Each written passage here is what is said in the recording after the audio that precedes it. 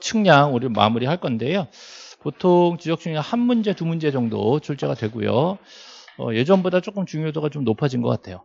근데 자, 지적 측량이라고 해서 실제로 우리가 측량하는 절차를 구체적으로 알 필요가 없어요. 그런 거 시험에 잘 안 나옵니다. 제일 잘 나오는 거는 이제 지적 측량의 종류가 뭐 있냐. 아, 들어간 몇, 몇 가지 종류가 있냐. 이런 것들을 이제 이름을 외우는 거예요. 그 정도 보시면 되고요. 자, 앞에 칠판 보시면 자, 지적 측량이 되게 여러 가지가 많이 있습니다. 자, 근데 여기 어, 기본 측량, 공공 측량, 수로 측량, 일반 측량 이건 지적 측량이 아닌 거예요. 아닌 거고. 자, 우리 지적 측량은 꼭 지적 공부가 나와 줘야 돼요. 지적 공부에 자, 토지를 갖다가 어떻게 등록하거나 등록된 걸 살려서 복원하기 위해서. 자 측량하면 우리가 면적이 나오는 거죠? 면적. 또 경계좌표. 얘네들이 나오는 측량을 우리는 지적 측량이라고 얘기합니다. 한마디로 얘기해서 지적 공부와 연관성이 있어야 된다. 그렇죠? 자 다른 다른 기본 공공 수로 일반 이건 우리 시험 범위가 아니다예요. 일단 여기까지 됐죠? 자 그러면 포인트가 두 개예요. 자 등록하거나 복원하려고 한 측량이다. 두 가지 목적이 있습니다. 자, 우리 요약집 46페이지 보세요. 요약집 46. 자, 요약집 46페이지죠. 자, 46페이지 메뉴에 지적 측량의 목적이 나왔어요? 목적. 자, 목적이 두 개 있죠? 측량 왜 하냐? 지적 측량을 왜 하냐? 그러면 등록하려고 한다. 또 복원하려고 한다. 두 가지 목적이 있습니다. 등록하거나 복원하기 위한 목적이고요. 자, 지적 확정 측량 및 지적 제조사 측량을 포함한다. 동그라미 포함, 포함, 포함. 제외라고 X, 제외 X 써요. 제외 X. 음. 자, 됐죠? 지적 제조사 측량도 지적 측량에 포함된다요. 그러면 예를 들어서 지적 제조사 측량은 지적 측량에서 제외된다. OX. X. 자, 이거 흔들리면 안 돼요. 자, 지적 확정 측량은 도시 개발한 거예요. 도시 개발에서도 측량하겠죠? 그럼 지적 확정 측량도 지적 측량에 포함된다. 됐죠? 자, 제조사 측량도 지적 측량에 포함된다. 자, 우리나라 지적조사는 1912년, 18년에 일제시대 때 실시한 거예요. 일제시대 때. 그러니까 그걸 여지까지 쓸까요? 써요. 여기까지 써요. 저, 저 시골 같은데 거기서 안 걷는 데는 그거 그냥 쓰고 있기도 해요. 그러니까 어떻게 다 재조사 해야 될 거 아니에요. 그걸 100년 만에 한다니까? 100년 만에. 100년 만에 그냥은 안 돼서 특별법을 만들어가지고 하고 있어. 특별법 만들어서. 그럼 그거는 특별법으로 측량하는 거잖아요. 그럼 지적법의 지적 측량이라고 할 수가 있다 없다. 애매하잖아요. 다른 법으로 측량하고 있으니까. 그래서 우리 법에다가 지적 측량에 포함한다라고 일부러 써준 거야. 아시겠죠? 특별법을 하고 있긴 하지만 우리 지적 측량에 포함하는 거다. 라고 일부러 써준 겁니다. 이걸 제외한다 그러면 틀리는 거예요. 그럼 제조사는 국가적으로 하고 있어요? 개인적으로 의뢰하는 거예요? 국가적으로 하고 있지. 그러면 제조사 측량은 지적 측량이다. OX. O. 제조사 측량은 개인적으로 의뢰한다. OX. X. 그래서 의뢰 대상에서는 제외되는 거예요. 아시겠죠? 그래서 모든 지적 측량을 우리가 의뢰해서 하는 게 아니에요. 자동으로 되는 것도 있단 말이죠. 예. 그래서 지금은 일단 지적 측량의 종류에는 포함이 된다. 그렇죠? 예. 다음 47페이지 갑니다. 47페이지 표가 있죠? 표에 보시면 기초 측량 있어요? 기초 측량. 기초 측량 몇 개? 세 개, 세 개. 자, 세부 측량 있죠? 세부 측량 몇 개? 어, 11개. 자, 11번 써 있나요? 예, 써 있어요. 예. 자, 얘네들이 지적 측량인데 얘네들 다 끝나고 나서 검사를 받아요. 검사. 그래서 검사 측량이란 건 종류로는 안 따져요. 세부 측량이든 기초 측량이든 하고 나면 검사 측량이 들어간다. 근데 검사 안 받는 세부 측량이 두 개 있어요. 검사 안 받는 거. 현경이, 현경이. 자, 현황 측량과 경계 보건 측량. 자, 이 두 가지는 예, 검사 대상이 아니다. 라고 지금 47페이지 맨 밑에다 써놨을걸요? 심지어 주의 해놓고 써놨을걸요? 주의, 주의. 음. 자, 배 7편 보세요. 자, 7편 보세요. 자, 여기 검사를 받는데 현경이는 제외한다. 보이시죠? 자, 지금 47페이지 맨 밑에 주의해갖고 써놓은 게 있습니다. 자, 복구할 때 무슨 측량이에요? 복구 측량. 자, 신규 등록할 때는 신규 등록 측량. 등록 전환할 때는 등록 전환 측량. 분할할 때는 분할 측량. 합병할 때는 합병 측량은 없어. 합병 측량 없어요. 예.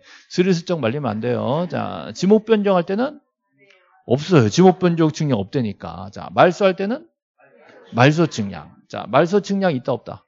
있다. 왜 말소예요? 어, 바다로 됐으니까 바다로 됐으니까 어디까지 말소할지 해봐야 될 거 아니에요. 그래서 말소 측량 있는 거예요. 말소 측량이 어디 있냐, 뭐 그런 게 말이 되냐 이렇게 우기시는 분들이 있어요. 예, 이건 실정법이에요. 실정법에 말소 측량이 존재합니다. 그렇죠? 예, 말소 측량 정정할 때는 정정할 때는 정정 측량, 정정할 때는 정정 측량, 축적 변정할 때는 축적 변정 측량 이름만 붙이면 돼요. 예, 그런데 도시 개발할 때는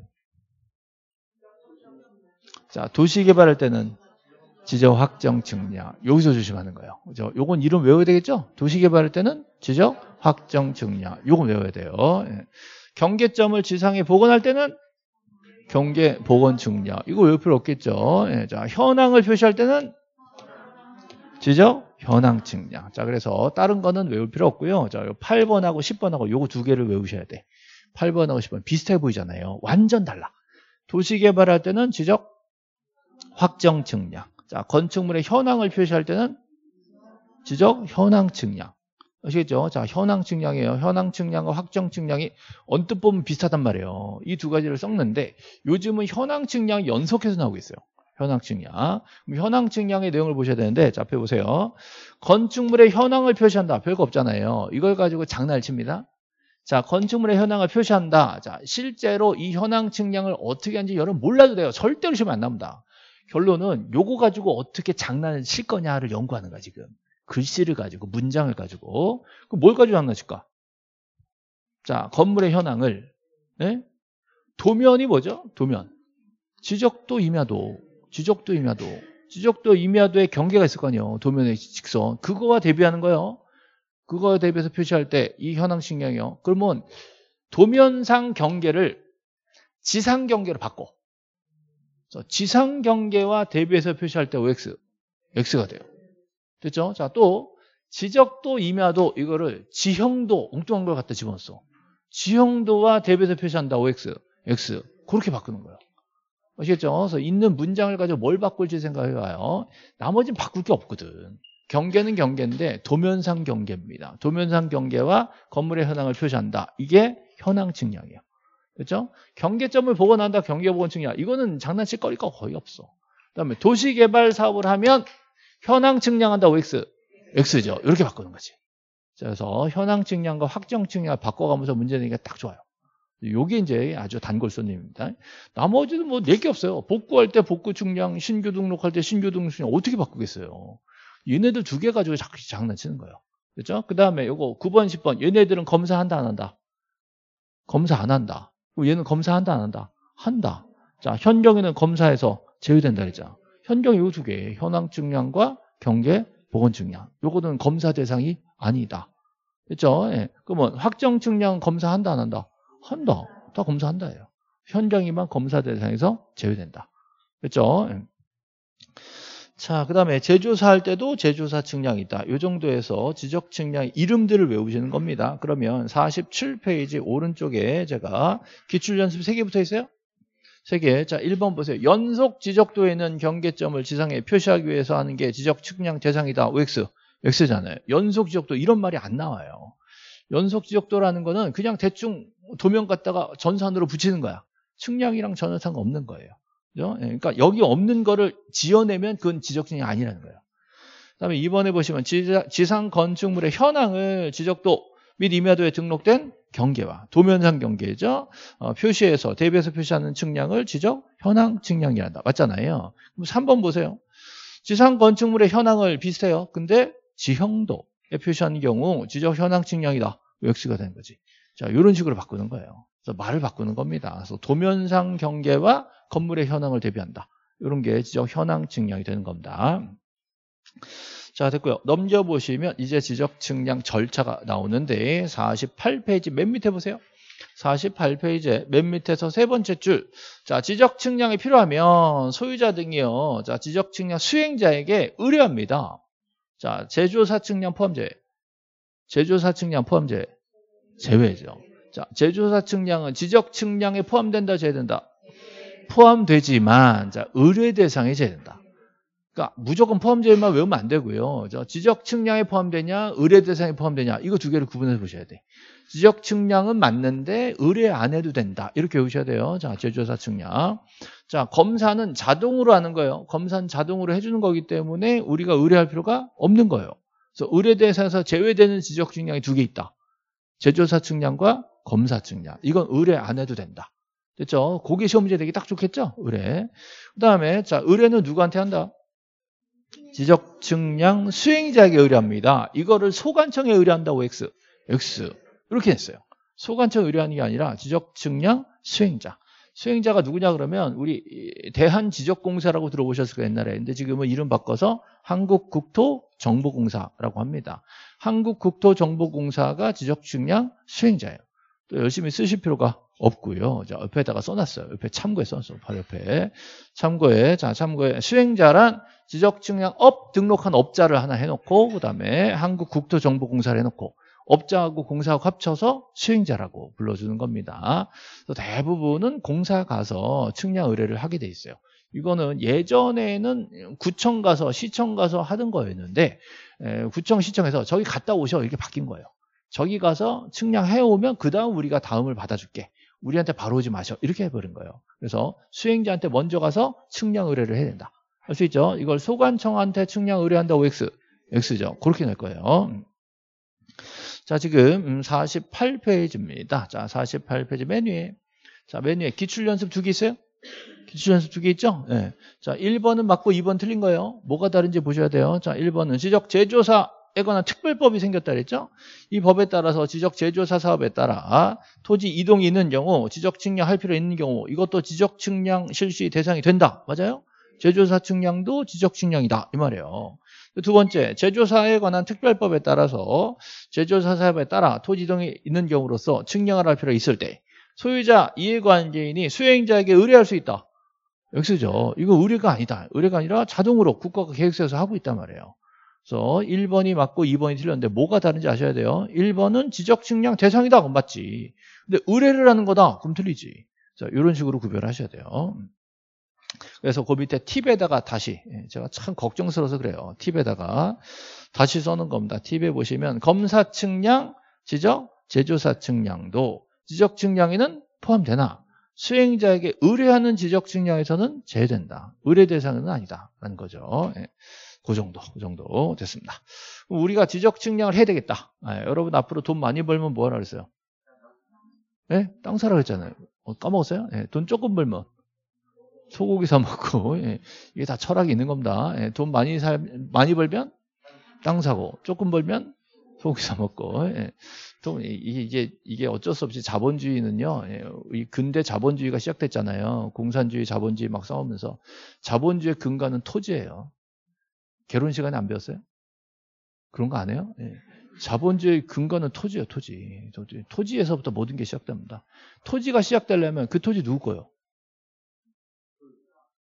내 땅이요? 이 땅 내 건지 누가 알아? 네? 내, 내 땅이란 거 누가 확인해줘? 네? 자, 미국 가가지고 땅 사면 내 땅이에요? 아니에요? 베트남 가서 땅 사면 내 땅이에요? 중국 가서 땅 사면 내 땅이에요? 기분이 슬슬 이상하네. 예. 이게 되게 심각한 문제입니다. 자연적으로 토지는 주인이 없어요. 토지 그 주인이 어디 있어? 그죠? 그걸 누가 정한 거예요? 토지가 몇 개예요? 누가 정한 거예요? 토지가 개수가 있어요? 누가 정한 거예요? 뭔가 근본적인 얘기 하지 마. 뭐, 뭐 이해시켜달라며. 예, 예, 예, 예. 자, 사실, 예. 자연적인 상태의 토지는 개수도 없고 주인도 없는 거예요. 그걸 개수를 나누고 주인을 정하는 게 누구예요? 국가, 국가, 국가. 국가가 있어야 토지 소유권이 생기는 겁니다. 음, 국가가 들어오고 토지 개수와 소유권을 만드는 게 그게 지적법이야. 지적법.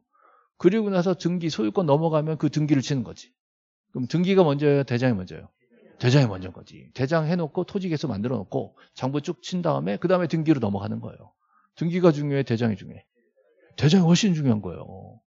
근데 물론 등기법이 어렵지 어려운데 그랑 떠나서 대장이 먼저 안 쳐져 있으면 뭐 개발이고 등기고 아무것도 없는 거야 소유권이고 없는 거야 대장이 먼저 정리되고 나서 법적인 개념이 올라가기 시작하는 거예요. 그래서 어, 지적법이 들어오는 게 헌법으로부터 연결되는 거예요. 헌법에 대한민국 영토 규정이 있단 말이에요. 한반도와 부속도 들어간다.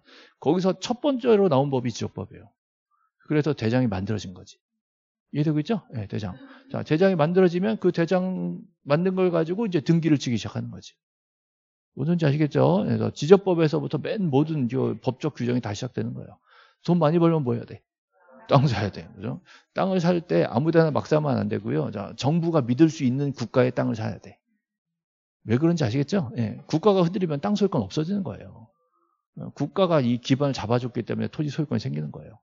그죠? 그래서 이 토지를 근간으로 해서 모든 자본주의 자본이 생기기 시작하는 겁니다. 돈 많이 벌면 뭘 사야 돼? 땅 사는 거야, 땅. 그죠? 그래야 땅값도 오르고 돈도 벌고 이런 거지. 이해되고 있죠? 예, 돈 조금 벌면 소고기 사 먹어야 돼. 예. 어떤 분이 돈 조금 벌었으니까 대출 받아서 산대. 안 돼. 땅은 대출 받아 사는 거 아니야. 예, 현금으로 사는 거고 돈 조금 벌면 땅 못 산다 그러면 어떻게? 어, 건강이라도 해야지. 건강이라도 소고기 사 먹는 거예요. 무슨 아시겠죠? 예, 채식주의들로는 사람이 오래 못 산대요. 예, 고기를 먹어야 된대. 그래서 소고기 사 먹는 거예요. 아시겠죠? 예, 우리 철학이 있어요. 예, 돈 많이 벌면 땅. 산자 붙은 거 사, 안 붙은 거 사? 산자 붙은 거 사야지. 산자 붙었으면 임야대장 등록지. 사는 거죠. 자, 그냥 팔아요? 옮겨서 팔아요? 옮겨서 팔아. 산자 떼야지. 산자 떼는 게 뭐예요? 산자 떼는 게 뭐냐고. 등록 전환, 등록 전환, 등록 전환. 그죠? 우리가 할 토지 이동은 등록 전환이에요. 등록 전환했으면 산자 떨어졌죠? 토지가 넘어왔지. 땅값에 오를까 내릴까? 오르겠지. 그대로 팔아, 잘라 팔아. 잘라 팔아, 잘라 팔아. 잘라 파는 게 뭐예요? 분할, 분할, 분할. 됐어요? 그래서 나한테 내가 등기 권리자가 돼서 소유권 이전 등기를 하고, 그죠? 요거를 등록 전환을 하고, 또 분할을 하고, 또 내가 의무자가 돼서 소유권 이전 등기를 하고, 요거 한 두 번만 하면 뭐, 뭐 수백억 대 부자가 될 수 있어요. 예. 뭔지 아시겠죠? 예. 하란 소리는 아니에요. 그냥 이론상 그렇다는 거지. 예. 그러면 유리가 할 토지는 두 개 있어요. 등록, 전환, 또 분할. 자, 등록 전환 분할은 측량을 한다 안 한다? 한다. 등록 전환 측량. 분할 측량을 우리가 의뢰해야 돼. 어디 가서? 수행자한테 가서 수행자. 수행자한테 가서 등록 전환 측량. 자, 분할 측량을 의뢰한단 말이에요. 그죠? 앞으로 뭐 예를 들어서 신규 등록 정도 하실 정도면 뭐 어마어마하게 하시는 거고요. 예. 어, 토지 이동의 측량을 의뢰하는데 말소 측량 의뢰하고 있다. 그러면 굉장히 슬픈 일이 되는 거고요. 그렇죠? 자, 우리가 할 일은 두 가지예요. 예, 등록, 전환, 또 분할. 측량을 어디 가서 수행자한테 가서 수행자한테 가서 의뢰가 들어가잖아요. 의뢰서를 내. 그럼 수행자는 바로 다음 날 소관청에 계획서를 냅니다. 엄밀하게 뭐 보고서라고 말할 수 있는데 이름이 계획서야, 계획서. 저 돈 얼마 받았다 씁니다. 아, 측량병 얼마 받았고 언제 측량하고 언제 검사해 주세요. 여기 들어가요. 요 계획서를 누가 누구한테 내는 거예요? 수행자가 소관청에 되는 이거를 거꾸로 냈어요. 작년에. 소관청이 계획서를 수행자한테 낸다. OX. X지. 그죠? 자, 3일 이내에 제출한다. X야. 다음 날 제출이 야. 그래서 자, 우리 교재 자, 49페이지 보시면 49페이지 2번 보세요. 2번. 자, 지적 측량 준비 써 있어요? 자, 측량 의뢰를 받은 수행자는 계획서를 작성해서 자, 언제까지? 다음 날. 자, 다음 날 누구한테? 지적 소관청에 제출하게 돼 있습니다. 여기까지 왔죠? 예. 그럼 소관청하고 수행자하고 사실 좀 친하잖아요. 자기들끼리 꿍짝 하다니까. 그래서 자료를 제출해줍니다. 계획서가 들어오면 자료 제공을 하게 돼 있어요. 계획서 받고 자료 제공. 그럼 일단 니은에 보시면 세부 측량의 경우 소관청은 제출된 계획서에 따라 측량을 하려는 지역에 지적 공부와 부동산 종합 공부하는 전산 자료를 수행자에게 제공한다. 자, 제공은 누가 누구한테 하는 거예요? 소관청이 수행자에게 도움을 주는 거예요. 계획서 받았으니까. 자, 밑으로 가시면 3번에 측량을 실시하고요. 자, 4번으로 가세요. 동그라미 4번에 보시면 측량 성과 잘 됐나 못했나? 검사를 하겠습니다. 검사 안 받는 거 두 개. 현정이. 자, 현정이는 검사 안 받는다. 맨 밑에 별표 쳐놨어요? 자, 맨 밑에 니은에 보시면 지적 공부를 정리하지 아니하는 경계 보건 측량과 현황 측량은 검사를 받지 않는다. 됐죠? 예, 검사는 누가 할까요? 소관청이 하는 건데 좀 중요한 건 시도의사 검사하는 경우도 있어요. 그래서 시도지사 또는 소관청에 검사를 받습니다. 근데 그냥 소관청에 검사, 검사 받는다 그래도 맞긴 맞아요. 근데 엄밀하게는 시도지사 또는 소관청에게 검사 받아요. 그거 이제 다음에 하고요.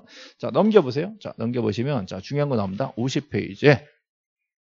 자, 50페이지에 표 있어요, 표? 표. 자, 이 표는 외우셔야 돼요. 50회 표. 자, 측량 며칠? 5일. 검사는 4일. 자, 칠판 보세요. 이거 외워야 돼요. 어쩔 수 없어요. 측량 5일, 검사 4일. 자, 총합이 9일이 걸리거든요. 근데 그렇게는 안 물어보고 측량 5일, 검사 4일. 왜 빵꾸를 뚫을 거예요? 빵꾸를 뚫을 거예요. 측량 5일, 검사 4일. 그죠? 근데 측량 날짜를 자, 정하기가 어려운 게 그 동네에 기준점들이 없대. 기준점이 없으면 기준점을 추가 설치하고 측량 들어가야 돼요. 그럼 5일로는 안 되겠죠? 그러면 이 기준점을 많이 설치하면 플러스 날짜가 많아지고 조금 설치하면 자 4일만 가사합니다. 자, 한 점이라도 설치하면 며칠이 필요하다. 한 점 설치하면 4일이 가산돼요. 두 점 설치하면 세 점 설치하면 15점 설치하면 4일 가산이야.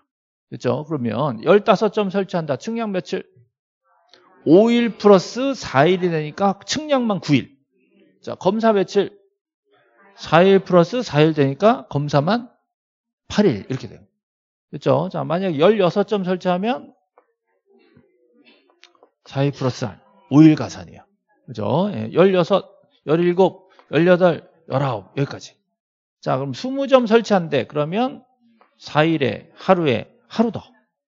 그렇죠? 자, 21, 22, 23 다 마찬가지죠? 예. 24점 설치하면 4일에 하루에 하루에 하루 더.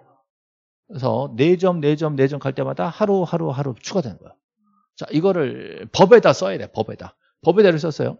15점까지는 며칠 가산, 4일 가산, 플러스 4일. 15점 넘어. 넘으면 4일에다가 4점, 4점 증가할 때마다 하루씩 추가로 가산하는 거예요. 그죠?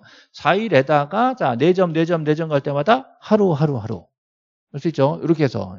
이렇게 해서 어, 추가로 계산하는 요 계산 문제가 20년 전에 한 번 나온 적 있어요. 예, 20년 예, 전에. 예. 만약에 계산 문제가 또 나왔다. 그러면 찍으세요, 그냥. 계산하지 말고. 예. 대신에 요거 외워야 돼. 자, 지들도 헷갈리니까 계산 안 해요. 계산 안 하고 합의를 해버려, 그냥. 대충 퉁쳐서 40일 가자. 40일 갔으면 40일에 30일은 측량, 10일은 검사 이렇게 했다. 그래서 전체 합의된 날짜로 정할 수가 있고 이게 더 편리하고 그래서 이거는 4분의 3, 4분의 1로 계산합니다. 그럼 문제로 뭘 바꿀까? 5분의 3, 5분의 2, 3분의 2, 3분의 1 이렇게 됐단 말이에요. 됐죠? 그 다음에 총 40일이면 며칠 며칠 돼요? 3, 40일이면 30일, 10일, 20일이면 어, 굉장히 어려지고 있어. 그죠? 예. 60일이면 큰일이네. 그래서 합의된 날짜가 나오잖아요. 예를 들어서 40일을 줘. 그럼 얼른 자 나누기 4를 하세요. 그래서요. 자 60일을 줬어. 얼른 나누기 4. 자 80일을 줬어. 얼른 나누기 4. 나누기 4. 나누기 4. 나누기 4면 며칠이에요 이게? 20일. 그러면 60일, 80일, 20일 빼면 60일. 그죠? 자 요거 나누기 4 하면 15일. 맞아요? 60일, 15일 빼면 45일. 되는 거예요. 나누기 4로 끝나는 거예요. 예, 왜? 요것 때문에 그래요. 그래서 나누기 4가 나오면 바로 검사기가 나와요. 뭐 전체 기간에서 그거 날짜 딱 빼면 측량기가 나옵니다. 그래서 요거는 무조건 맞춰야 돼요. 그래서 여기는 나오면 찍으시고 만약에 이 계산 문제가 나왔다 그러면 이건 뭐 못 풀게 나오는 거니까 풀 생각하지 마시고요. 대신에 가로 넣기 나올 수 있어요. 가로 넣기. 15점 이하면 4일 가산. 요건 외울 수 있죠? 요거, 요거. 예, 그 다음에 4점, 4점 증가할 때마다 하루씩 추가 하산. 가로 넣기를 맞춰야 돼. 가로 넣기. 요거 대부분 다 가로 넣기로 출제가 될 거다라고 보시고 얘는 계산 문제가 나옵니다. 요 계산 문제 나오면 어떻게 해요? 나누기 4, 나누기 4. 그렇죠? 요거는 어, 올해 한 문제 정도 나올 수가 있습니다. 예, 늘상 자주 나오던 거였고요. 어, 작년 같은 경우 검사 기간이 4분의 3이다 이렇게 했어요. 검사가 4분의 3, 틀리겠죠? 검사는 4분의 1입니다. 측량이 4분의 3. 음. 됐습니다. 자, 그 정도 봤고요. 자, 이제 51페이지로 갑니다. 자, 51페이지. 51페이지에 표가 있죠? 표. 자, 51표. 예. 이 표를 좀 정리를 할 겁니다. 이게 계속 안 나오다가 51페이지에 메뉴 표에 보시면 제가 기출 표시해 놨어요. 기출 표시. 자, 이게 31회에 한 번 나오고 33회 작년에 또 나왔습니다. 그 전까지는 한 10여 뭐 년간 안 나오던 거예요. 안 나오다가 어, 중간에 보시면 지적 삼각점 보이세요? 자, 삼각점 표지 관리 누가 한다? 지적소관청. 삼각 보조점 표지 관리 누가 한다? 지적소관청. 자, 도근점 표지 관리 누가 한다? 지적소관청. 표지 관리는 무조건 다 지적소관청이에요. 그러니까 표지는 시험에 잘 안 나온단 말이에요. 어차피 다 똑같으니까. 성과가 나오면 얘기해 조, 조심하셔야 돼요. 성과 관리냐, 성과 열람이냐. 저 구분하셔야 돼요. 예. 성과 관리는 자 삼각점은 시도사가 관리하고 보조점, 도근점은 다 소관청이 관리합니다. 그래서 보조점, 도근점은 고민하실 필요가 없어요. 보조점, 도근점은 전부 다 소관청 끝이에요. 자 시험에 나오면 삼각점이 나오겠죠? 삼각점. 자 성과는 누가 관리한다? 시도지사. 삼각점 성과의 열람 신청은 어디 가서 해요? 시도지사 또는 지적소관청. 이게 바뀌었단 말이에요. 이게 원래는 시도지사한테 열람 신청하는 거였는데 또는 소관청으로 바뀌어가지고 소관청에만 가면 세 가지를 다 열람할 수 있게 개정된 거예요. 이게 개정된 게 일반인들이 보기에는 좋아진 거예요? 나빠진 거예요? 좋아진 거예요. 왜? 소관청에만 가면 세 가지를 다 열람할 수 있게 개정됐기 때문에 되게 편리해진 거잖아요. 이 편리해진 거를 신문에서 내줘 안 내줘? 안 내주지. 그러니까 시험에 낸다. 라고 해서 찍었는데 안 나오고 찍었는데 안 나오고 찍었는데 안 나오고 그래서 4년 만에 나왔어 이게 31회 그래가지고 어찌다 그때가 반가웠던지 어, 야너 나왔구나 내가 소원을 풀었다 32회 안 나오고 33회 또 나왔어요 예. 그렇죠? 자, 다른 건 모르고 삼각점 성과 열람. 삼각점 성과 열람에 대해서는 또 눈이 들어갔습니다. 시도지사 또는 소관청에. 그렇죠? 예. 이걸 가지고 수행자한테 열람 신청한다고 X. X. 수행자는 여기서 튀어나올 여지가 없는 거예요. 그래서 시도지사 또는 소관청에게 열람 신청합니다. 소관청에 가면 세 가지를 다 열람할 수 있다. 됐죠? 그 다음 통보 규정이 하나 있는데요. 자, 보조점과 도근점은 통보 규정 자체가 없어요. 자, 통보는 삼각점에만 있는 거죠? 누가 누구한테? 소관청이 시도세 통보입니다. 거기다 별표 하나 치세요. 이거는 아직은 기출 문제가 없는데 앞으로 이거 어, 나올 거라고 저는 찍고 있습니다. 이거 통보. 아, 위에 또는이 한번 출제됐기 때문에 그거 다시 나오면 뭐 큰 의미가 없고 이 통보는 다시 나올 수 있어요. 다시가 아니라 처음 나올 수 있어요. 이게. 이게 요즘에 출제자들한테 주목을 받고 있는 부분이라서 아, 조금 새로운 걸 낼 거란 말이죠. 통보를 낼 건데 보조점 도근점에 통보한다고 X. X예요. 삼각점만 통보가 있단 말이에요. 통보는 누가 누구한테 하는 거예요? 소관청이 시도사한테 하는 거예요. 왜냐? 소관청이 표지 관리를 하는데 표지가 변하면 소관청은 조사해서 알지만 시도사는 위에 사람은 모르잖아요. 그러니까 올려, 올려서 보고를 해줘야 돼. 그래서 통보를 누가 누구한테 하는지 싹 바꾸기 좋단 말이에요. 그러니까 문제되니까 딱 좋은 상황이 이게. 요즘 한참 출제 분위기가 여기로 몰아왔고 또 한번 위에 나왔기 때문에 새로운 내용 낸다 그러면 통보가 나온다. 됐죠? 예, 분명히 찍어드려서 이거 예, 통보 통보 예. 요거는 이제 7, 8, 9, 10 넉 달 동안에 제가 연습을 또 예, 문제를 만들어 가지고 시켜드릴 테니까 그때 보면서 연습을 좀 합시다. 이게 한 번 들었다고 문제 풀리는 게 아니에요. 문제 풀이는 또 다른 차원입니다. 기출 문제 풀어보고 외워보고 그 다음에 이걸 가지고 어떻게 바꾸든지 이때서부터는 저하고 이제 아이디어 싸움이에요. 어, 뻔한 내용이거든. 이걸 어떻게 문제를 바꿔가지고 새롭게 보이게 만들 것이냐. 그럼 그거를 이겨내고, 아, 이게 뻔한 내용을 말만 바꿨네? 이렇게 찾아낼 것이냐. 예, 그거를 7, 8, 90넉달 동안 하는 겁니다. 그거 눈치만 딱 채면 돼요. 이게, 이게 이제 사람마다 이제 독특하잖아요. 사고방식이 독특한 사람들 있지. 아, 너 어떻게 그렇게 생각하냐? 이런 거 있잖아요. 그런 거 시험에 안 나와. 그런 거 고민하지 마세요. 예, 저의 사고방식에 맞추셔야 돼요. 제가 딱 기출 수준의 이 독특함을 갖고 있어요, 제가. 예. 그만큼 기출 문제만큼만 바꿔드릴 거예요. 진짜 어이없는 건 안 건드려요. 맨날 나올 만한 거 제가 예상하는 것 중에 적당한 수준에서 바꿔드립니다. 그래서 7, 8, 90 넉 달 동안에 제가 내드리는 문제를 보면서 결국은 기출 문제 지금 요번 달에 공부한 걸 가지고 만드는 거예요. 완전히 얼토당토 하는 건 건들지 않습니다. 나올 만한 걸 가지고 계속 바꿔가면서 이 반복 연습을 시켜드리기 때문에 다시 말씀드리지만 기본으로 돌아간다 있다는 생각하지 마시고 몰라도 되니까 문제를 풀면서 눈치를 보라고요. 예, 그리고 결론적으로 근간은 요약집이 됩니다. 요약집으로 돌아오셔서 아 이건데 이렇게 바꿨구나. 그것만 찾아내시면 돼요. 그래서 7, 8, 9, 10의 문제풀이는 그런 형식으로 가면 어, 지금까지는 점수 안 나오더라도 마지막에 점수가 확 뛰는 경우가 많아요. 어, 이게 어느 정도만 예, 어쨌든 뭐 아예 귀에 안 들리면 안 돼. 근데 어느 정도는 요약집 들으면서 어느 정도는 알아먹었다라고 한다면 마지막에 문제 푸는 요령만 좀 올라가면 점수가 올라가게 돼 있어요. 제가 뭐 계속 오랫동안 강의를 하면서 느끼는 거지만 9, 10월 달에는요 초능력이 생겨요. 이건 우리가 믿을 수 없는 능력이야. 예. 그렇게 몇 달을 못 외우던 걸 외우더라니까. 예. 이건 초능력이지. 6개월을 못 외우는 건데 어, 9, 10월 달에 한, 한 칼에 외워버려. 그죠? 예. 이건 초능력입니다. 이게 이제 그 시험 코앞에 절박감 있잖아요. 그게 여러분들한테 힘을 줍니다. 그러니까 그걸 좀 믿어보시고 스스로 예. 또 나중에 그런다 초능력 생긴다며 뭐 이딴 소리 할까봐 좀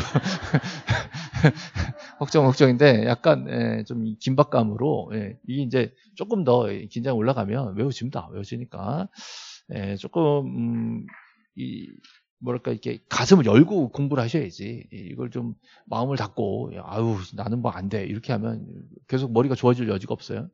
어, 다들 아시겠지만 머리는 좋아지는 겁니다. 머리는 나만 놔두면 나빠지는 거고 자꾸 쓰면 좋아지는 거예요. 어, 계속 뭔가 하고 있으면 안 됩니다. 자꾸 머리 굴리고 하면 7, 8, 90 넉 달 동안 머리 충분히 좋아지고 문제 푸는 요령도 늘어요. 어, 늘 수 있어요. 충분히 니까 너무 뭐 사전에 걱정하지 마시고요. 뭐 여러분 심정은 다 알아요. 예, 하는데 공부해도 안 되지. 뭐 예, 문제 풀면 점수도 안 나오지. 그죠? 책 보면 또 새롭지. 내가 필기한 건데 기억도 안 나지. 뭐 그러니까 어떡하냐. 뭐 날짜는 며칠 얼마 안 남은 것 같은데 뭐 또 특강이 있다고 그러지. 막막 부담에 스트레스 막 죽을 것 같잖아요. 예. 온 동네 사람들하고 우리 가족들 나 공부하는 거 다 알지. 뭐 막 미쳐버리겠지. 뭐 부담스럽고 뭐 뻔하지 뭐. 예. 예, 그래도 예, 뭐 일단 멘탈을 잡으셔야 되는 게 주변 사람들이 나한테 관심이 별로 없어요. 내가 붙든 떨어지든 그 사람들은 큰 상관없어. 가족들하고도 큰 의미 없어 사실. 예. 제일 의미 있는 분들은 이런 분들 있죠. 그동안 자격증 없이 영업하시던 분들. 이런 분들은 되게 심각해요 진짜. 자격증 없이 영업하는 요번에 올해는 꼭 따야지라고 했는데 안 되면 진짜 힘들어져요. 그러니까 그런 분들은 정말 힘든다. 그렇지 않은 분들은요. 어, 사실은 뭐 옆에서 내가 힘들지 뭐 네가 힘드냐? 가족들이 뭐 걱정해봤자 떨어진 건 나니까. 힘들게 내가 더 힘들어요. 그러니까 남 눈치 보는 거 의미가 없는 거예요. 예, 아무 상관없고 공부도 내가 하는 거다. 예. 죄송해요. 빨리 할게요. 예. 차근차근 암기하면서 문제 푸는 요령만 들어가면 충분히 점수 올라가니까 긴장하고 막 혼란 갖고 이래봤자 점수엔 도움이 안 됩니다. 네. 하던 대로 꾸준히 그냥 예, 문제 풀이 넘어가면 됩니다. 다시 문제는 알고 풀어요, 모르고 풀어요? 모르고 풀어도 돼. 제가 자격을 드릴 테니까 모르고 풀어도 돼요. 네. 자, 위원회 얘기할 겁니다. 지적위원회죠. 자, 오늘 위원회 뭐 배웠죠? 축척변경위원회. 자, 누구 친구들? 소관청 친구들. 자, 지적위원회는 두 개가 있어요. 중앙지적위원회와 지방지적위원회. 자, 지방지적위원회 누구 친구들? 지도의사 친구들. 중앙지적위원회 누구 친구들? 장관 친구들. 끝. 자, 위원회 세 개예요. 소관청 친구들, 시도의사 친구들, 장관 친구들. 끝이에요. 위원회 세 개. 소관청 친구들은 축척변경위원회. 시도지사 친구들은 지방지적위원회. 장관 친구들은 중앙지적위원회. 끝이에요. 그럼 어떻게 장난칠까? 이거 뭘로 바꿀까? 중앙 또는 소관청, 소관청 이렇게 되겠지. 시군구 이렇게 되겠지. 저 이걸 뭘로 바꿀까? 이 시도사 바꾸겠지. 뻔하단 말이에요. 그거 바꾸는 거예요. 실제로 이렇게 내고 있어요 지금. 그래서 예, 축척변경위원회는 소관청 친구들. 자 지방 지적위원회는 시도사 친구들. 자 중앙 지역에는 국토교통부 장관 친구들. 할 수 있죠? 이렇게 해서 친구들 보세요. 자 친구들 몇 명? 친구들 몇 명? 다섯 명에서 열 명. 세 개 다 똑같아. 세 개 다 친구들 다섯 명에서 열 명이에요. 위원회는 무조건 다섯 명에서 열 명. 과반수 출석으로 회의를 열고 출석 과반수 찬성으로 의결한다. 다 똑같아요.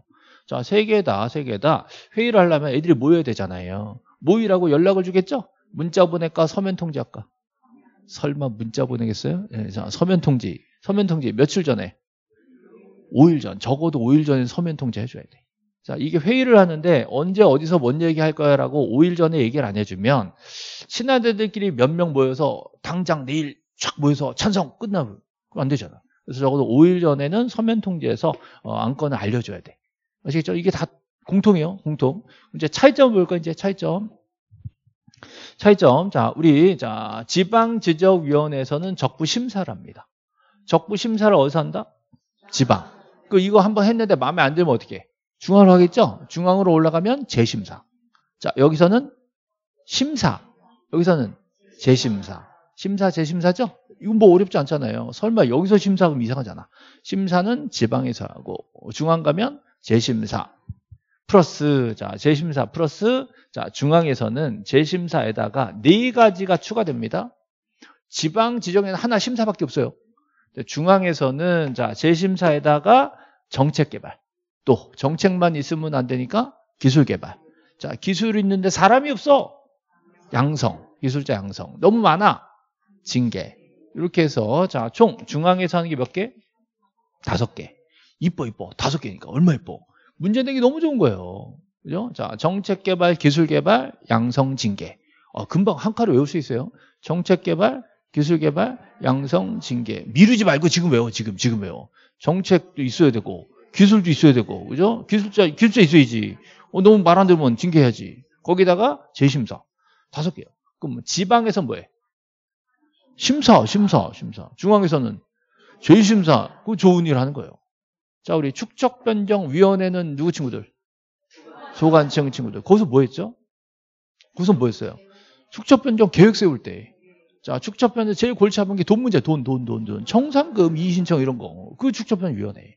그죠? 예, 여기서 지방지적위원회는 심사. 중앙지역에는 재심사, 자, 정책개발, 기술개발, 양성, 징계. 이 다섯 개, 다섯 개. 그렇죠? 이렇게 해서 위원회 하는 게 유기시험에 나와요. 그래서 만약에 자 여기 기술의 연구 개발을 지방 지정위에서 한다고 X, X 그렇게 되는 거예요. 네. 그렇죠? 자 재심사를 중앙에서 한다. O 이렇게 되는 거지. 별거 아니죠? 여기 다섯 개 됐어요. 그럼 뭐 얘네들 중앙지적위원회에 대해서 법에 써놓고요. 지방지적위원회는 비슷하게 한다, 준용한다 이렇게 해놨어. 그러니까 지방지적위원회가 시험에 안 나와요. 그럼 뭐가 나오냐? 중앙지역위원회. 자, 몇 명? 다섯 명에서 열 명. 위원장, 부위원장 다 들어간 거죠? 네, 다 똑같아요. 위원회 전부 다 다섯 명에서 열 명입니다. 그죠? 누구 친구들? 국토교통부 장관 친구들이에요. 그죠? 자, 국토교통부 장관 친구들 뭐 하는 애들이죠? 음, 똑똑한 애들 중에서도. 자, 알려드릴게요. 자, 대학 교수들. 대학 교수들. 법에다가 대학 교수들을 쓸 때 이렇게 써요. 학식과 경험이 풍부한 자를 씁니다. 예, 뭐 이게 뭐 위원회 위원들 임명할 때 법이 거의 다 비슷비슷해. 예, 그 Control C, Control V 해가지고 붙여. 예, 법 만들 때 다 그렇게 붙여요. 특별한 거 몇 개 빼놓고 다 비슷해요. 거기 꼭 들어가는 게 이런 거예요. 학식과 경험이 풍부한 자. 중에서 장관 친구들이죠? 예, 몇 명? 자, 이러면 안 돼. 이게요, 3명에서 8명이요. 어떻게 된 거죠? 어떻게 된 거죠? 자, 위원장, 부위원장이 빠져야 돼. 위원장, 부위원장은 이미 정해져 있거든. 담당 국장, 담당 과장이 이미 위원장, 부위원장 정해져 있고 나머지 애들만 친구들 안 치는 거야. 그래서 다 합치면 다섯 명에서 열 명이 되는 거죠. 그렇죠? 예, 아까 축적변경위원회랑 달라요. 축적변경위원회는 다 친구들이고 그중에 한 명 찍었잖아요. 여기서는 위원장, 부위원장 못 찍어요. 이미 정해져 있기 때문에. 얘네들은 임기도 없어. 임기도 없어. 딱 정해져 있어요. 국장 들어오면 얘 위원장이 돼.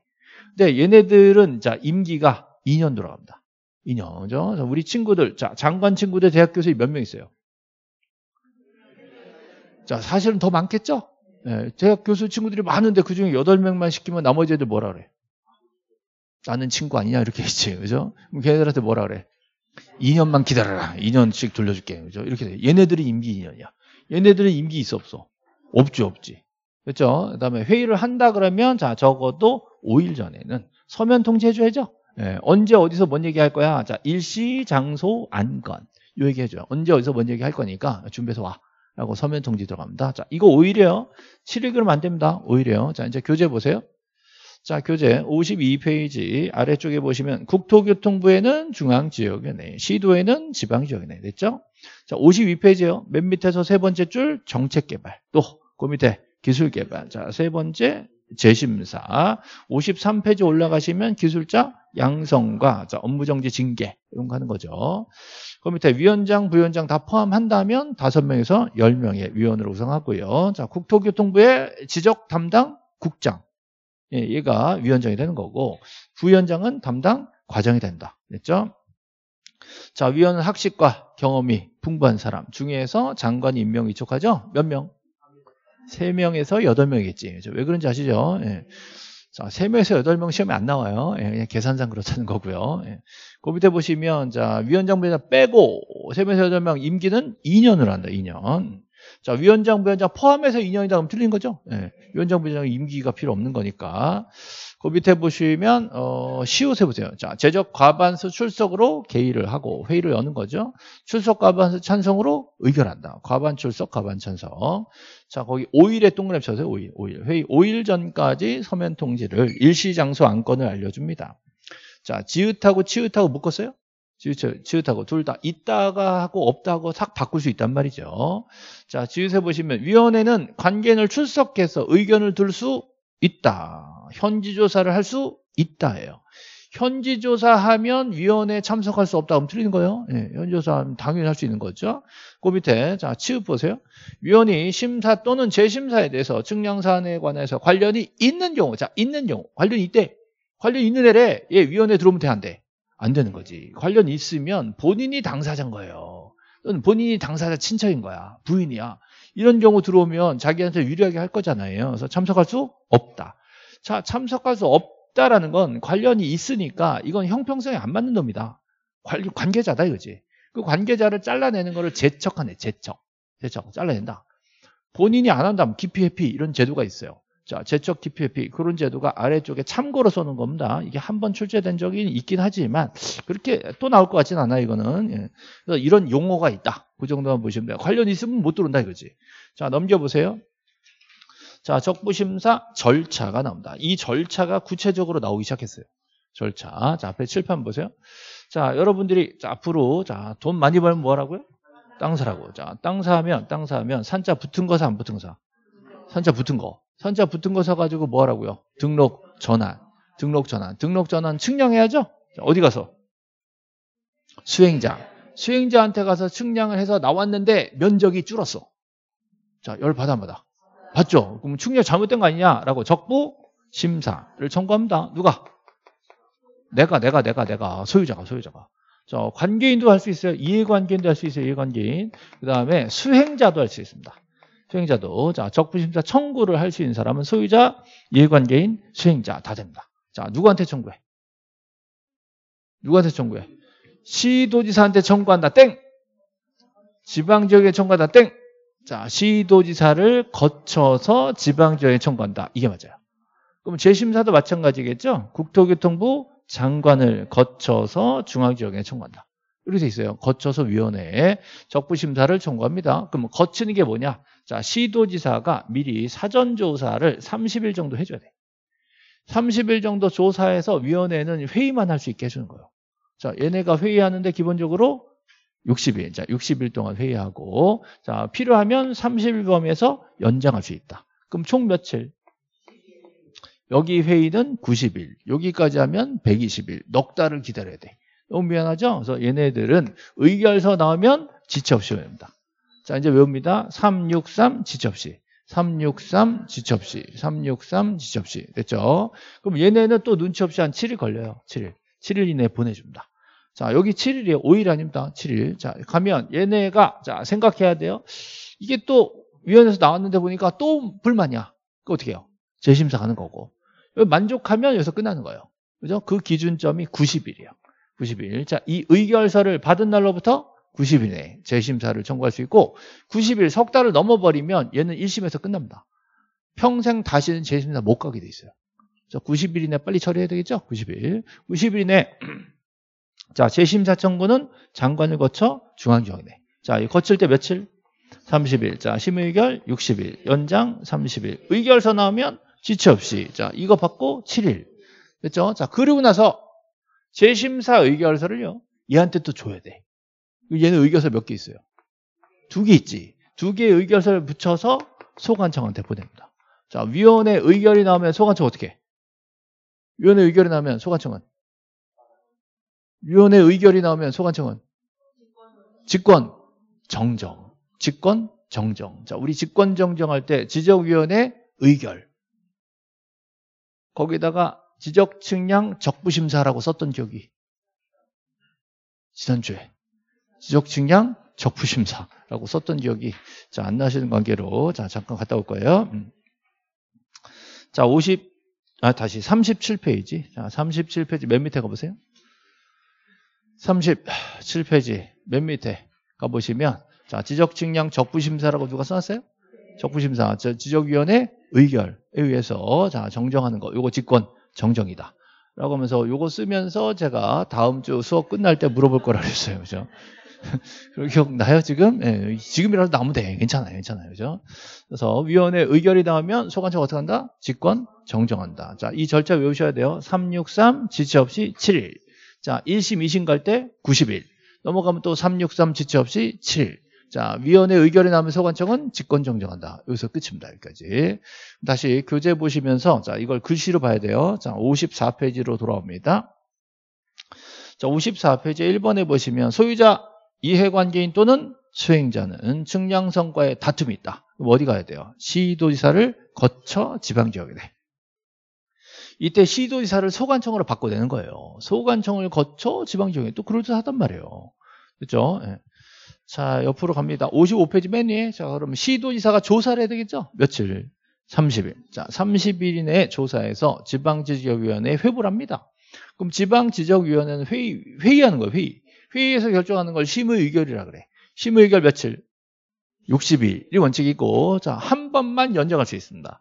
연장도 30일 꼭 해야 되는 게 아니라 30일 이내에 한 번만 연장할 수 있는 거죠. 그래서 최장 90일까지 심의할 수 있다. 그럼 되게 오래 걸렸으니까 자 지체 없이 나와있죠. 심사 의결서는 위원장과 참석한 사람은 반대를 했어도 전원 서명내를 해줘야 돼. 하면 그 의결서를 지체 없이 시도사에게 송부하게 돼 있죠. 뭐 시도사는 또 급한데 또 눈치 없이 한 일주일 깔아뭉개요. 일주일, 일주일, 일주일, 7일이죠. 7일. 7일 이내에 청구인 이해관계인에게 통지합니다. 자, 통지하면서 이거 90일 이내 안 하면 이건 끝이다. 라고 알려줘야 돼. 그래서 재심사 청구 며칠? 90일. 자, 이 의결서를 받은 날로부터 90일이에요. 자, 지적법에 90일 딱 두 번이에요. 여기 90일 하나 하고 또 바다로 된 토지 그 두 개. 자, 둘 다 받은 날입니다. 자, 바다로 된 토지도 사전에 통지해 주거든요. 통지 받은 날로부터 90일이고 여기서도 의결서 받은 날로부터 90일이에요. 90일은 무조건 앞에 받은 날에 붙어야 돼요. 받은 날. 받은 날로부터 90일 이내 장관을 거쳐 위원회에 재심사를 청구할 수 있다. 써 있죠? 자, 그 밑에 8번으로 갑니다. 자, 8번. 자, 8번. 지적 소관청은 지적 공부 정정 예, 또는 예, 지적 증량 성과를 수정한다라고 돼 있죠. 예, 자, 이때 정정 무슨 정정? 직권 정정이 직권 정정. 자, 그 밑에 특별 자치 시장 누구요? 누구 이게? 세종시장, 세종시장. 특별 자치 시장. 세종시장이죠? 여기도 소관청이요. 자, 특별자치 시장도 소관청으로 지급을 하는데 이게 좀 애매한 게요. 특별자치시장인 세종시장은 소관청은 소관청인데 자, 소관청은 소관청인데 세종시에는 또 지방지적위원회가 있어. 그 여기서는 시도자 취급을 합니다. 이게 뭔 소리냐? 자, 만약에 재심사 의결서가 오잖아요. 재심사 의결서 오면 얘는 원래 소관청한테 보내야 되잖아. 근데 세종시장은 자기가 소관청이야. 그 보낼 필요가 없다는 거지. 자기가 그냥 여기서 직권 정정하고 끝나는 거예요. 자, 그래서 특별히 그 밑에다가 8번 밑에다가 따로 써드린 거예요. 얘는 따로 보내지 않고 자기가 소관청이니까 직권 정정 지가 한다 이 말이지. 그렇죠? 그래서 특별자치시니까 얘는 어, 소관청이면서 시도사의 지위도 같이 가지고 있는 거예요. 두 개가 겹쳐졌기 때문에 법조문을 일부러 이렇게 만들어 놓은 겁니다. 네, 괜히 얘기해서 됐고 됐고 그거는 지금 기출문제 할 때는 그거 얘기할 때가 아니라 자 그러면 문제집 한번 가보죠 문제집 음.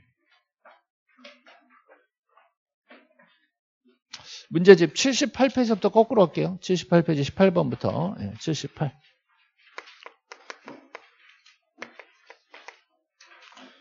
자, 문제집 78페이지 18번 문제가 있습니다. 자, 지적 측량 적부 심사.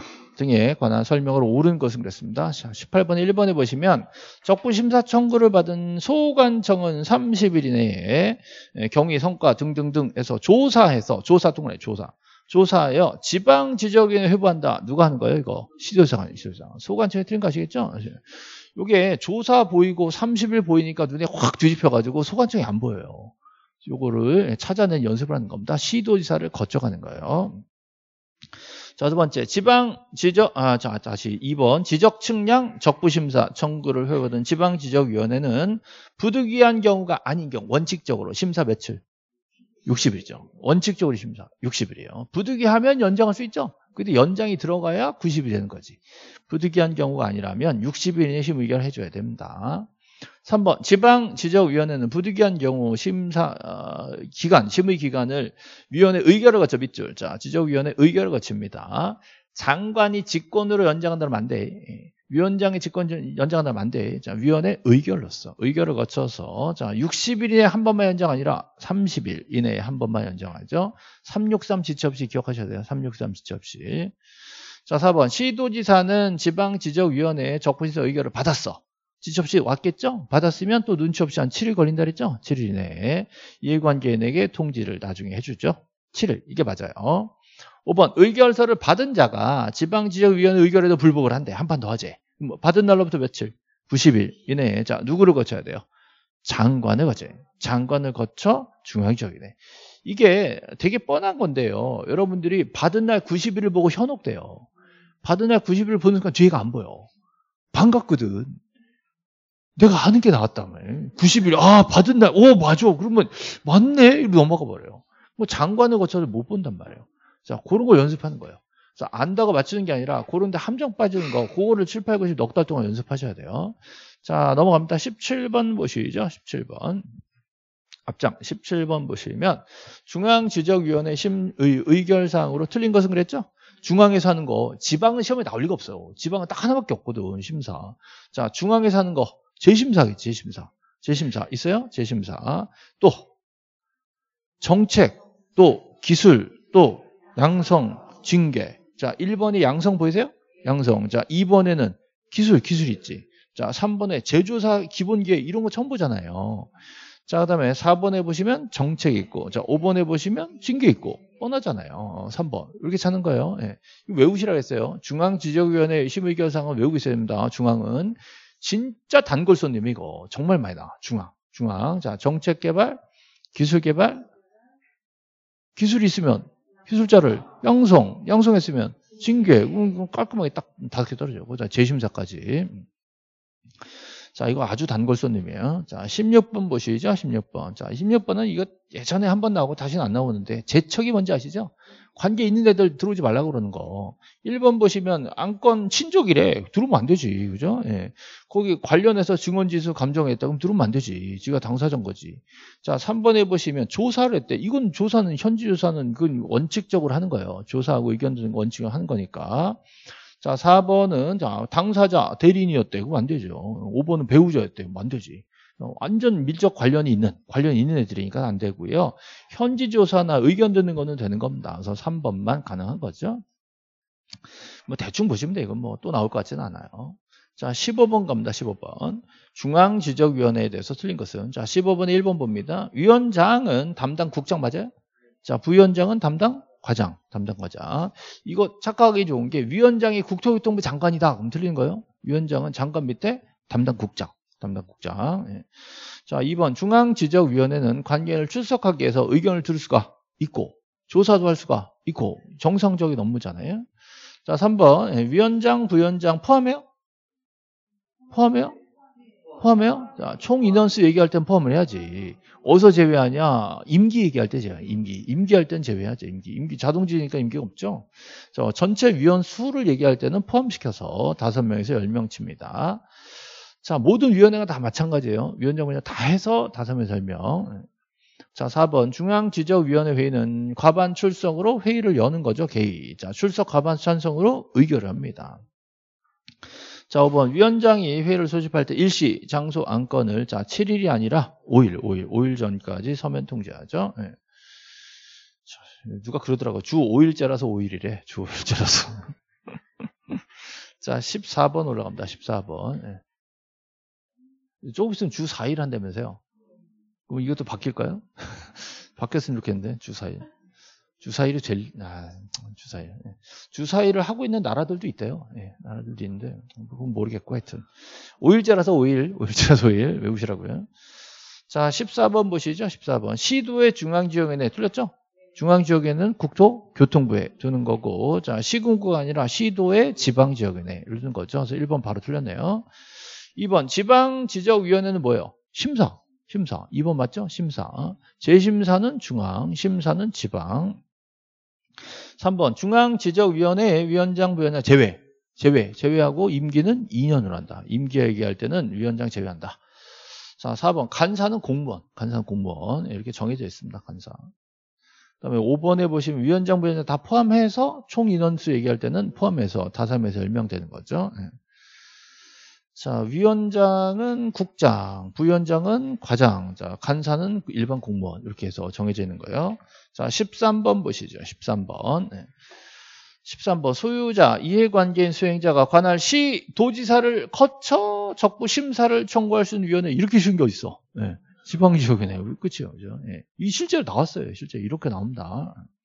자, 12번 갑니다. 12번. 또 이런 거 보면 어, 위원회 이름을 외우라는 거냐? 뭐 이런 분도 있어요. 네. 자, 12번 보세요. 예. 자, 지적 측량 기준점, 기준점, 기준점 성과와 보관 열람, 열람, 열람 동그라미 열람. 자, 12번에 1번 보세요. 시도지사나 소관청은 기준점 그랬어요. 기준점 그러면 세 가지를 다 합친 거예요. 기준점 그러면 삼각점, 보조점, 도근점. 이거 열람하려면 시도지사 또는 소관청한테 열람하는 거고 시도지사 소관청이 보관을 하는 거죠. 자, 2번 예, 삼각점 성과를 열람 하거나 등본 발급 받으려면 자 삼각점이잖아요. 어디 가야 돼요? 원래는 시도사였는데 시도사 또는 소관청으로 개정됐다 그랬죠? 네. 그래서 이거 이 문제 출제될 때는 시도사였어요. 였는데 이게 이제 그 이후에 개정되어서 이거를 변형시킨 겁니다. 시도사 또는 소관청에게 신청을 하는 거예요. 3번 보조점이래. 보조점이면 무조건 소관청. 자, 4번 도군점이죠? 이것도 무조건 소관청에 가서 열람을 하는 겁니다. 자, 5번 보세요. 기준점, 기준점이니까 세 가지를 다 얘기합니다. 세 가지, 사, 세 가지 다 묶어서 열람, 등본 발급 신청을 받은 수행자는 틀렸잖아요. 시도지사 또는 소관청은 그래야 돼요. 시도지사 또는 소관청이 열람이나 등본 발급을 해주는 거지. 수행자들은 이거 열람하고 전혀 상관없어요. 수행자들한테 우리가 가서 의뢰를 해야지. 얘네가 이거를 관리하거나 열람시켜줄 의무가 없습니다. 5번이 틀렸어요. 자, 11번. 이 문제죠. 자, 11번. 11번. 자, 이 문제가 탁 재작년 31회 때 나오고 나서 제가 감격의 눈물을 흘렸어요. 예, 4년 만에 나왔구나 이러면서 예, 딱 정답으로 나왔어요. 딱 정답으로. 삼각점 열람은 시도사 또는 소관청에게 한다. 그게 딱 정답으로 나왔습니다. 11번에 1번이죠. 즉 삼각점 성과는 시도사 또는 소관청에게 열람 신청하는 거고요. 자, 2번은 왜 틀렸어요? 2번은 보조점이잖아요. 보조점이면 무조건 소관청에 하는 거예요. 보조점, 도군점은 다 소관청이잖아요. 근데 시조사 섞어놓고 한국 국토정보공사 섞어놓고 막 헷갈리게 섞어놓은 거예요. 다 지어낸 말이고 자 1번만 딱 맞습니다. 1번에 삼각점 성과니까 시조사 또는 소관청. 이것도 그 해에 제가 이거 올해 마지막 찍는다고 막 강조했었던 거거든요. 예, 탁 나와서 정답으로 나왔어요. 예. 자 10번 올라갑니다. 10번. 10번. 자, 10번의 의뢰, 열람, 발급에 대해서 자, 옳은 거 찾기인데요. 자, 1번 보세요. 삼각 보조점, 도근점, 열람 어디 가야 돼요? 소관청에 가야지, 소관청. 수행자한테 가면 안 된다 그랬죠. 두 번째, 의뢰, 의뢰, 의뢰, 의뢰, 의뢰. 어디다 제출해? 의뢰, 의뢰. 의뢰는 수행자한테, 수행자한테. 소관청한테 의뢰하는 게 아니란 말이에요. 수행자한테. 자, 3번 시도지사나 소관청은 기준점 성과 측량 기록을 보관하고 자, 지금 기준점이라 그랬단 말이에요. 기준점이니까 세 가지를 다 합친 거죠. 합친 거니까 시도사나 소관청에게 보관을 하고 열람 신청을 하는 거 맞는 말이죠. 3번. 4번 의뢰를 받은 때는 어 소관청이 의뢰를 받았어? 틀렸죠. 자, 의뢰는 누구한테 해야 돼요? 수행자한테 수행자. 그 수행자가 의뢰를 받으면 계획서를 다음 날 나왔어요? 다음 날, 다음 날 누구한테 내야 돼? 소관청한테 내야죠. 수행자가 소관청에 내는 겁니다. 그래서 예, 소관청이 의뢰를 받았다. 여기서부터 틀렸어요. 다음 날은 맞습니다. 자, 5번 보시면 의뢰인과 수행자가 서로 합의해서 기간 정할 수 있죠? 자, 그럼 그 기간에 따라야 되는데 자, 전체 기간이 4분의 1이 측량이요? 4분의 3이 측량이지. 자, 검사는 4분의 1이고 두 개를 바꿔놨죠. 자, 요 문제가 작년에 나온 거야. 작년에. 예. 자, 9번으로 가시죠. 9번. 자, 9번. 자, 9번 문제. 시도지사나 대도시장으로부터 측량성과 검사. 자, 동그라미. 검사. 자, 검사를 받지 않아도 되는 거 현경이 있죠? 검사 안 받는 거 현경이, 현경이. 에, 경계보건 측량은 잘 안 나오고요. 보통 현황 측량이 잘 나옵니다. 현황 측량. 현황 측량 검사 안 받는다. 자, 8번 올라가시죠. 8번. 자, 측량 기간에 대해서 옳은 거 그랬죠. 8번. 자, 측량 기간 원래 며칠? 5일, 5일. 자, 검사 기간은 4일. 일단 이거 외워야 됩니다. 기준점을 설치해서 측량 검사를 할 때 기준점이 15점 이하일 때는 4일 가산하고요. 15점 초과하면 4일에다가 15점을 초과하면 몇 점마다? 4점, 4점, 4점 갈 때마다 1일씩 추가 가산하는 거죠. 자, 이 불구하고 합의를 했대. 합의했으면 자, 측량은 전체 4분의 3이고 자, 검사는 4분의 1이고 그죠? 요 가론 요거는 언제든지 잡을 수 있습니다. 이거는 이것도 조금 변형한 건데 여러 가지를 만들어낼 수 있겠죠? 쪼가리 잘라 가지고. 자, 7번 문제로 가시죠. 7번. 자, 7번에 1번에 보시면 지적 측량은 기준점을 정하기 위한 기초 측량 네모, 기초 측량. 자, 기초 측량은 기준점 정한다. 기준점 세 가지 있죠. 삼각점, 보조점, 도근점 측량이 다 기초 측량이에요. 한 필지 한 필지 경계 면적 따로 정한다. 이게 세부 측량. 그래서 크게 두 가지입니다. 기초 측량과 세부 측량. 자, 두 번째, 수행자가 의뢰를 받은 때는 기간, 일시, 수수료를 적은 계획서를 다음 날까지 누구한테? 소관청한테, 소관청한테. 수행자가 소관청한테 계획서를 제출하죠. 드렸고요. 자, 3번에 합의했어, 합의. 합의. 합의했으면 4분의 3, 4분의 1이죠. 합의한 게 아니래. 합의한 경우를 제외하고. 원칙대로 가란 말이죠. 합의도 안 했고, 기준점 설치도 안 하고, 그럼 원칙대로 해라. 측량은 5일이고, 검사는 4일이다. 그래서 원칙대로는 그렇다. 이 말이에요. 5번 복구, 신규 등록, 등록 전환, 축적 변경할 때 세부 측량을 한다. 세부 측량을 하면 한 필지 한 필지 면적을 측정해 줘야죠. 측량하면 면적이 나온다. 측량 안 해도 면적 나올 수가 하나 있어요. 합병, 합병. 합병은 측량 안 하고 더 하면 되니까. 자, 그거는 빼고. 자, 합병은 측량 없, 없고, 자, 면적만 새로 정하면 되는 거죠. 5번 수행자가 지적 측량을 했으면 시도사 또는 소관청으로부터 검사를 받는 겁니다. 자, 다 맞죠? 자, 6번으로 올라갑니다. 자, 6번. 6번. 공간정보 구축 및 관리 등에 관한 법률. 자, 소유자 등 이해관계인 수행자, 네모, 수행자, 수행자. 수행자에게 측량 의뢰, 동그라미, 의뢰. 자, 의뢰하는 경우가 아닌 거. 자, 의뢰 안 해도 자동으로 되는 거. 거 검사하고 또 제조사. 자, 검사하고 제조사는 지적 측량 2단이다. 이다, 이다. 그러나 의뢰 대상에서는 제외된다. 그게 답이란 말이에요. 그래서 검사하고 제조사, 그래서 기억하고 리율이 됩니다. 자, 5번 문제로 가보죠. 자, 5번. 5번. 자, 의뢰에 대해서 틀린 것은 그랬습니다. 자, 5번에 1번에 보시면 소유자는 분할, 분할 측량 여러분 해야죠. 여러분 앞으로 할 측량 두 개라 그랬어요. 등록, 전환, 측량과 또 분할 측량. 어디 가서 얘기해? 수행자한테 가서 소관청이 먼저 가면 안 돼요. 수행자한테 가서 측량을 의뢰합니다. 수행자. 그래서 1번은 맞는 말이죠? 맞는 말. 예. 실제로 여러분이 이거 하시려면요. 김포시면 김포시청 가요. 김포시청 가면 여기 민원과 따로 있잖아요. 건물에. 거기 가면 그 지적 공무원들이 쭉 앉아 있잖아요. 그 구석에 위에다가 한국국토정보공사 달아놓고 앉아 있어. 사실 시청 가는 요 길 그러니까 옆에 가면 한국 국토정보공사 건물이 있어요. 지적공 옛날 지적공사 건물이 있는데 거기 이제 그 지점이 있고 거기서 한 명이 나와 있어 김포시청에 거기 가서 얘기를 하잖아요. 그럼 어떻게 등록 전환까지 원, 원스톱을 해드릴까? 이렇게 물어봐. 원래는 측량만 의뢰하는 거거든요. 측량 의뢰하고 끝나면 다시 그 김포시청에 등록 전환 신청 또 해야 되거든. 이거를 여기서 맡아서 이 위임에서 대리를 다 해줘 버린다고. 실제로는 그렇게 해버려요. 실제로. 근데 이론상으로 우리는 시험 보는 거니까 아, 수행자한테 측량해서 받고 다시 소관청 가서 분할이나 등록전 신청하고 이렇게 두 번 하는 거예요 원래는. 아시겠죠? 근데 실제로는 가보면 원스톱을 해드린대. 어, 수술을 한 번에 내면 우리가 쫙 해드린다고 이렇게 해드립니다. 예. 예, 그렇다. 예. 어쨌든 그거 얘기하고 실무는 달라요. 있단 소리 하면 안 돼요. 여기서는. 예. 1번 같은 경우 수행자한테 의뢰한다. 이게 법조문에 이렇게 돼 있으니까. 법 조문대로 가셔야 돼요. 예. 자, 두 번째, 지적 측량을 의뢰하려는 자는 의뢰서를 누구한테 제출해요? 지적 측량 수행자에 제출한다. 자, 1번하고 2번은 똑같은 말이에요. 똑같은 말. 3번, 수행자는 의뢰를 받았잖아요. 받았으면 다음 날까지 소관청한테. 자, 뭘 내야 돼요? 계획서를, 계획서. 계획서. 예. 계획서 내면 이제 자료 제공을 하겠지, 소관청에서. 3번, 소관청은 측량 성과 정확하다. 라고 인정하면 측량 성과도를 수행자한테 발급한 겁니다. 이게 검사한 거예요.